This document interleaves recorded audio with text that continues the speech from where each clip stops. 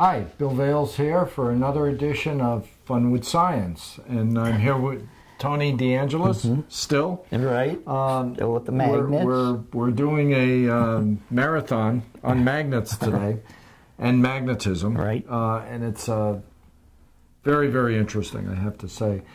Uh, Tony, let's um, talk a little bit about uh, the different types of magnetism. Okay, uh, magnetism is generally broken into three parts.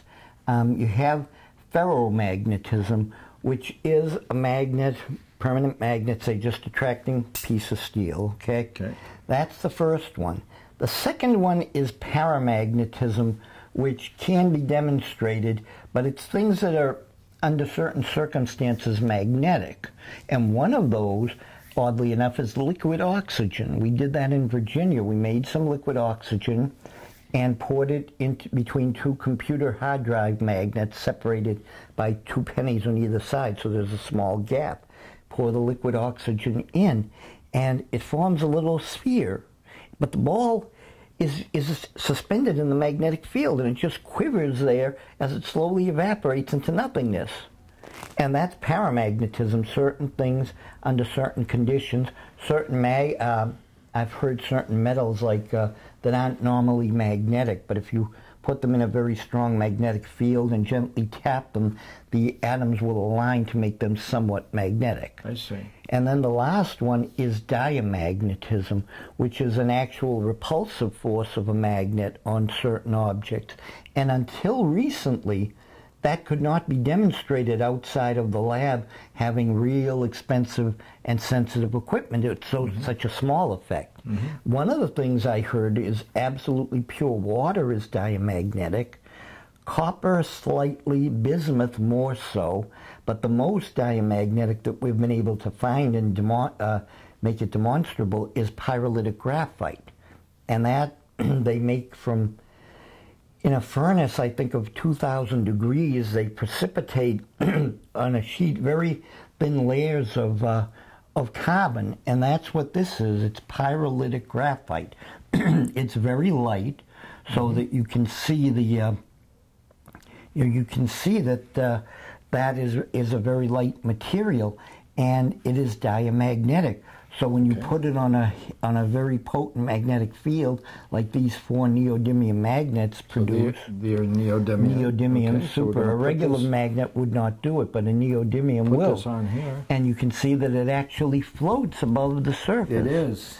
Yeah. It- yeah. we'll tap the table Right. a little bit and you can see it floating. Yeah, that's it. The thing is is actually floating on the surface because it's being repelled by the magnet rather than attracted, and uh, that's one of the few substances that where it's easily demonstrable, and it's great. Very interesting. Yeah. So Now, those are the now I guess the, the the type that we think of most often is the uh, ferromagnetism. Right, a magnet that attracts Yeah. iron, steel, and like that. This is a very uh, interesting. We could play with this. Oh, it is. Yes, hours. right. I do. Believe me. Shaking this. Um, And as far as playthings go, there's so much stuff you can do with the magnets. Um, One of the things uh, I did was I made these boxes. It's not none. It's not too uh, too great as far as the construction goes, but um, I was I had one that I made years ago with the powdered iron, uh, iron filings, and I threw it out. Uh, what I used here is uh, I'm using uh, magnetite sand, which is a high quality one that I got from a person who is uh, selling it, and comes from Oregon black sand, and according to him, it's pulled seven times with magnets to get all the impurities out. And what's left is pure magnetite sand, and so you can use it to demonstrate the field of a magnet. oh, isn't that interesting? So it's just, it's another plaything, but it is kind of funny that you can, you know, use that in, in, uh, in many ways as a demonstration tool. Now, I think most of us uh, older people Mm-hmm. remember those uh, little um, faces. Yes, and you put the, the, yeah, the, the you eyebrows or the the beard. right, beard. right, yep, Um, exactly. This has certainly taken it up a notch. Well, yeah, I, you know, when I uh, the first time I heard about this stuff was when I got uh, one of my earliest rock collections, and one of the things in it, it said magnetic sand. Mm-hmm. I don't know, looked it up. I can't find any reference to, to it, but it's actually magnetite, Magnetite. sand. And I have a, a big bottle of it uh, downstairs, but this guy, it's high quality, and so you can use it for stuff like this. Mm-hmm. The only thing is, you know, when you glue this stuff together, you have to glue everything so you can't take it readily apart and change things. Mm-hmm. But it's a nice thing. So it's basically magnetite sand as a demonstrator Yeah. of magnetic field. These are wonderful vehicles for demonstrating the concepts, taking them to school. Right, exactly. I used to do that when uh, my my nephew and niece were in grade school. I'd do, you know, demos with all of this stuff. Boy, can this really capture the interest in the in a Oh, sure, it hands-on would, yes. in a hands-on manner. Well, see, that's the thing. You know, when you do stuff like that, it it does add something to it. And, and and the magnetite, we talked about the magnetite in the first show. Where Yeah. we, you know, we had a uh, piece of magnetite. Yeah, right. That you had. Very interesting. And I think I believe that the, most of this sand came from Oregon. There was a place where the guy uh, goes and uh, digs it up, and then he has to spend hours and hours getting all the impurities and regular sand out of it. So he uses a powerful magnet Yeah. and sifts it, and then he goes afterwards and does it yet again. And he says he goes through seven steps of doing that to get all the impurities out and have that. And the magnet magnetic. Uh, the magnetite sand is very high quality. Very interesting. Now, another thing that we can do just as a plaything is this, and I'm sure you're I familiar love this with stuff. ferrofluid. Look and- that. Point that to the. Look at Yeah. this. Um, I'll put it down here, or you can see it more. But the ferrofluid is wonderful stuff. I've heard that they have uh, colored ferrofluid now. Somehow or other, they've colored it. I want to get some of the gold, but uh, I haven't got around to it yet.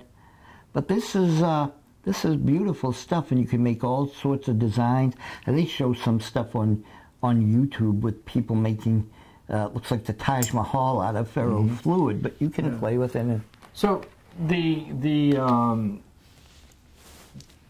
the material in here is magnetic. Mm-hmm. Yes. And would that be magnetite? Um, I believe it is like microfine magnetite and Okay. some kind of oil. The problem type with of oil. Yeah, the problem with it is that um, if you have regular ferrofluid, I, I ran into this one time, and I poured it into a vessel.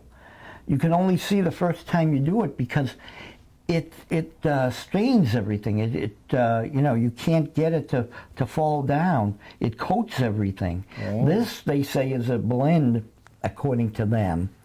Uh, and who knows? Maybe it's just plain mineral oil. I doubt it. But they say it's a blend of 13 chemicals, where it'll keep keep itself separate from the uh, from the ferrofluid, and and won't allow it to adhere to the glass that it's in. I see. What would be an application for this? Well, actually, they use this in two things that I know of.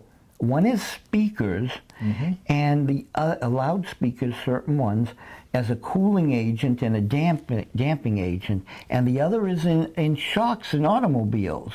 Somehow or other, there's a, there's a there's a commercial on TV where the guy says, "Oh yeah, you know, it the computer controls it thirty thousand times a second or whatever, adjusts the field, and by uh, varying the field that the fluid is in, you can get different, I guess, uh, viscosities or buffering action.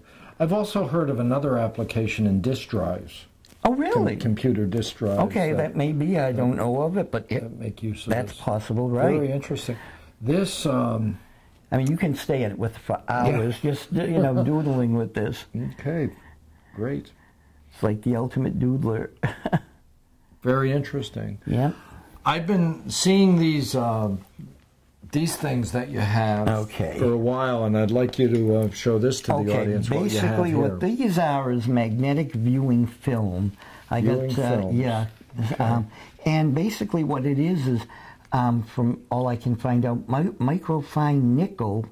Uh, in um, and I guess it's flakes more than powder, but it's microfine in oil. Mm-hmm. And what it will do is it will show the uh, poles or the magnetic field or anything that you put behind it. Okay, let's. Um, And uh, we can demonstrate it with this little magnet first, Okay. and you can see. Oh, well, you can. I'll let you do it because Okay. you'll be showing it Okay. there. and can you see?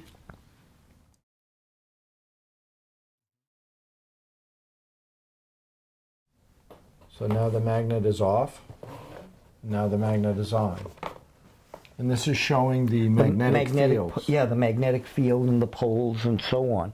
So that that gives you quite a good um, Yeah. a good thing. And Do you have another magnet that I can I try that do. with? Um, I have to get it. Um, here's the that powerful horseshoe magnet that you can try, okay. and then we'll get. oh, I have to excuse me, but I have to grab the rotor magnet. You can see this.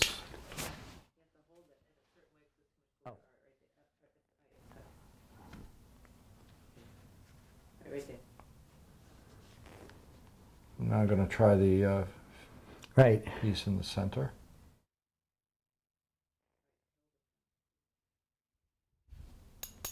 And I'll try the piece over here.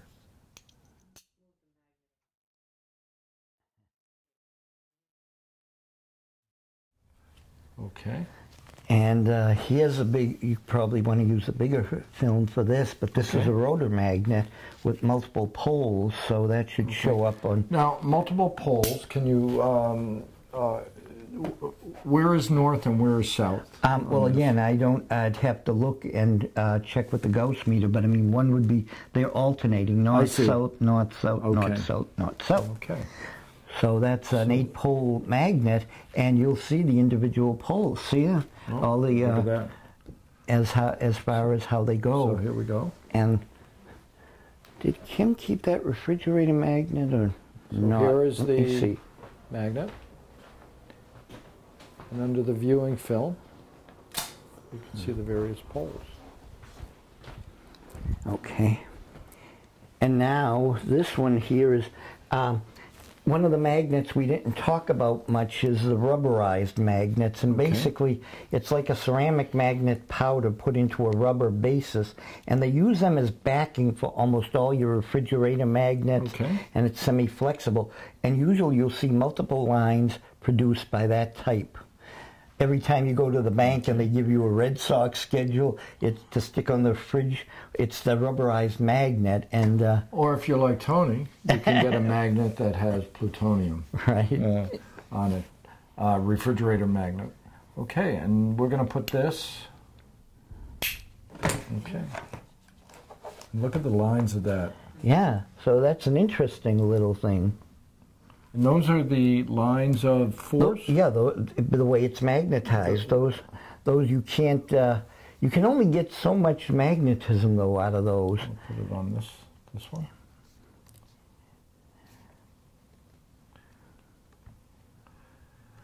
These experiments do so much to make a fairly mystical force a little more understandable.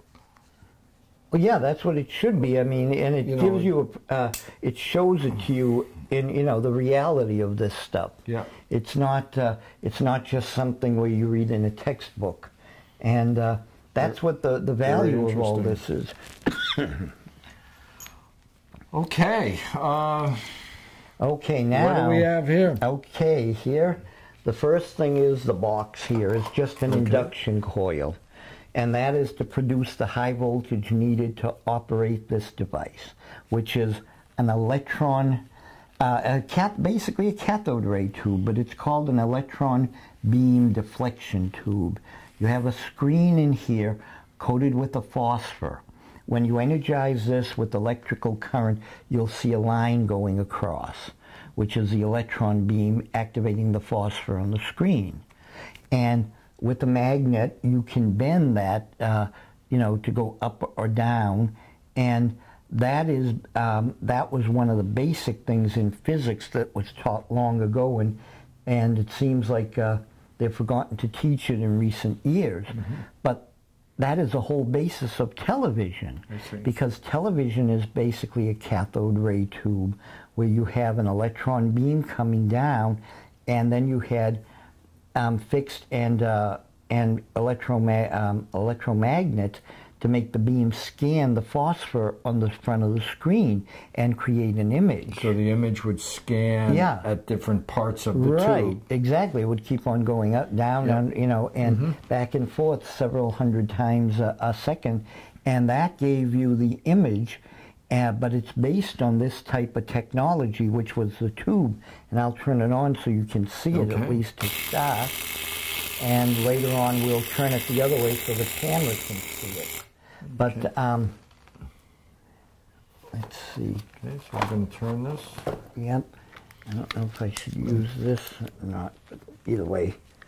Um, We're going to. yeah.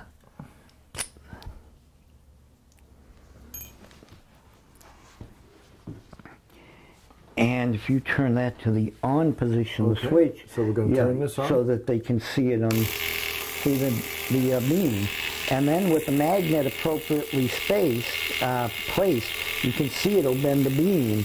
Yes. And that bending of the beam is basically the, the uh, basis of how television is made. It's, uh, and that little screen there is, uh, is one from something or other that, uh, that my uh, fiance had. And it's a small one. And they, you see these, even though cathode rays are not used in regular TVs anymore, you'll see them in our instruments, oscilloscopes and all that type of thing. So, so they're still used. And, and, and, and the magnet in this would be around Mm-hmm. Right. around the neck here. Yep, around the neck, and all oftentimes it's an electromagnetic assembly controlled by the electronics to what they want it to do. I see. But that's yeah, that's Yeah. it. Was where they call it the yoke, and that goes around, fits around the that end of Mm-hmm. the tube. Yeah. And that would, uh, I, I, w- I would think, change the area of the screen Yeah. that, that the um, that the beam gets directed Mm-hmm. right. to. Sure. Uh, very interesting. So that's uh, that's the whole basis for our TVs for years and years with cathode ray tubes. yeah, TVs aren't like this anymore. No, now they with They the don't- uh, they're not like this. No, anymore. with the flat screens and plasma and uh, LCD TV, it's a different different world. But this whole thing was a concept, and this was widely used in physics classes years ago. But because the technology has changed, maybe they think it's archaic, and I I don't think uh, you'd find many of these uh, used in physics classes anywhere. And it's to teach the principles of this yes, stuff. yes, You know. very interesting. Okay. Well, Tony, what do we have here?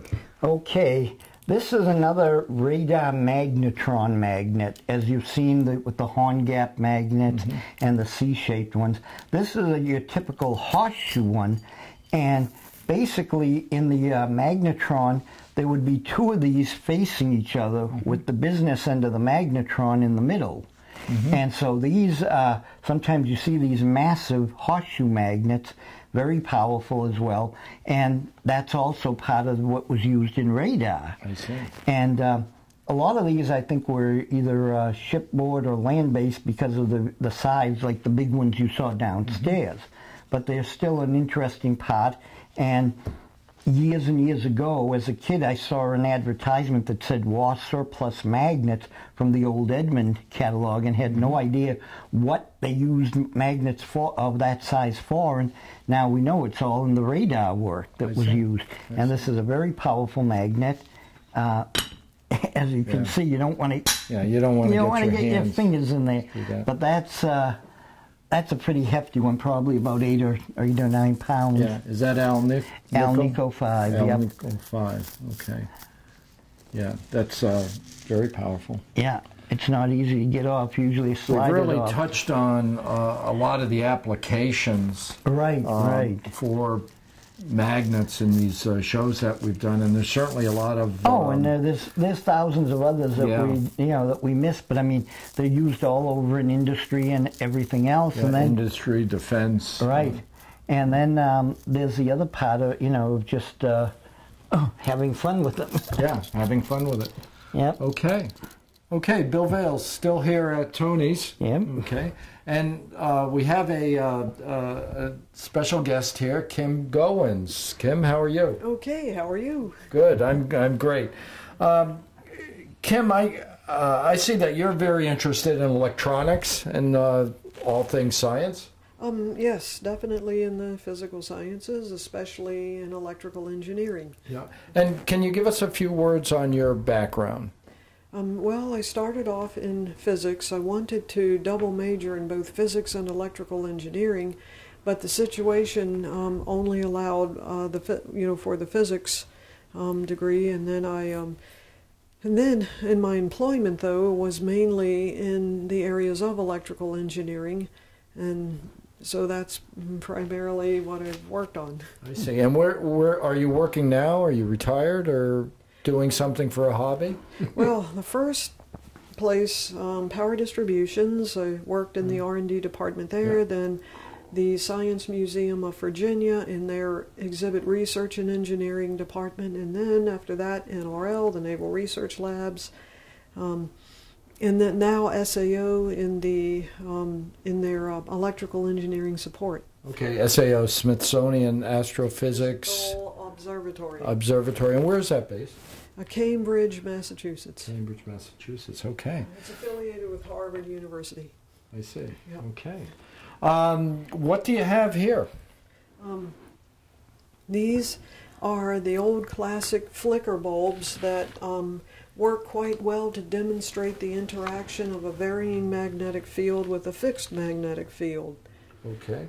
Now, the uh, the the varying magnetic field is Um, what? Okay, the varying magnetic field comes from the um, the the input mains from the power line, Okay. which is varying sinusoidally at 60 hertz. Okay. Now so that- look like this. That current, we ought to have a diagram to show this. oh, that's okay. Um, but the um, 60 hertz current, sinusoidal current sets up a 60 hertz sinusoidal sinusoidally varying magnetic field around the filament. So that f- magnetic field then interacts with the fixed magnetic field of the little permanent magnet that's in the base so of each magnet. Yeah, you can see of them in some of So these, you can see it a little better on that Okay. clearer one. Hmm. Okay, and what um, is this the design for? The lower circuit is The the, design for these Okay. a set of four, and they're basically in parallel so they can be individually switched. You know, and it's quite simple. So why don't you turn them Quite on? And for her, it's simple. So these are all demonstrating the same properties with different colored bulbs Right. Yeah. for Just to- um, yeah, just yeah, just yep, for the Yep.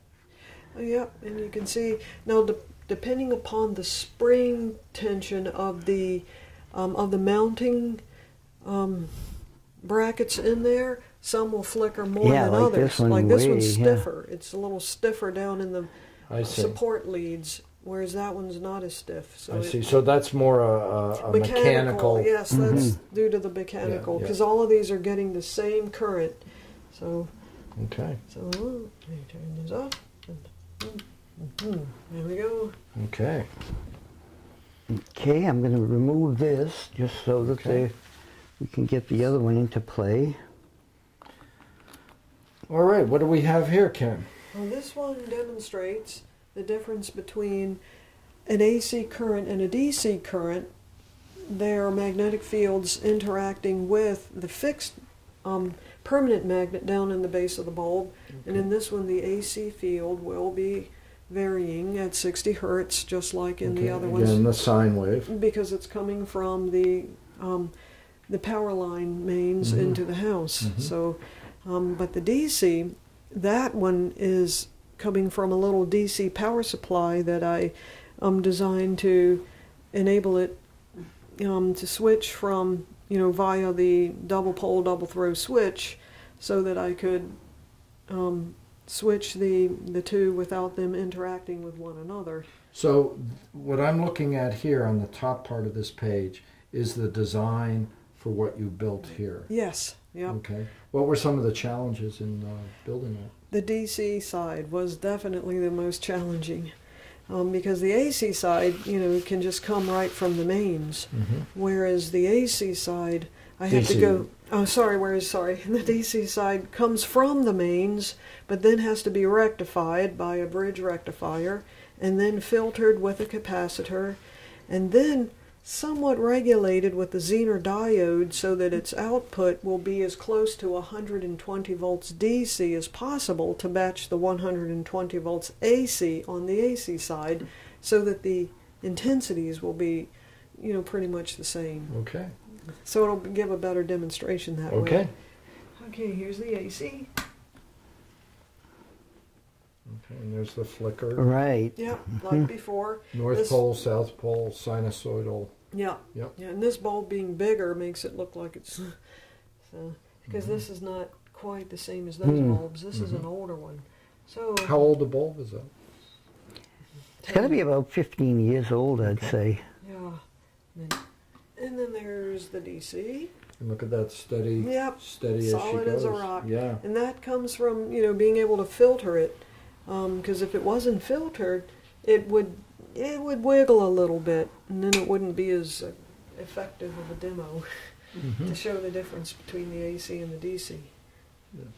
This design is, um, it, it, you may consider it simple, or at least this simple, and this, Yeah, this was a bit more challenging yeah. because I had to really tweak it to get the bridge rectifier and the capacitor to play nice together. Yeah, we're going to take some uh, pictures of this and show it to you. It's uh, it, it it's really done in a level of clarity that um, you know, having worked in engineering, um, Yeah, these are those very clear. yeah, just hand sketches. So- So. Yeah.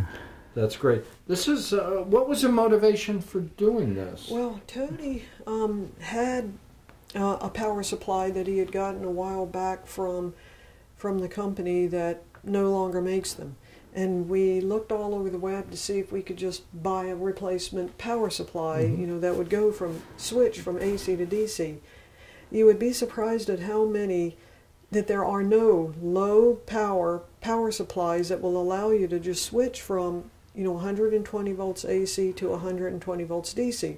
Just none exist. You know, you could you could get big benchtop ones, you know, that are thousands of watts, and you know we don't Yeah, want anything no. like that. So, I um, he needed one. and I thought, wow, that would be a nice little electronic ch- uh, Right. adventure. I would like to take on that challenge. So I did. So Yeah. you designed it, built it, and um, She's very good at what she does, yes.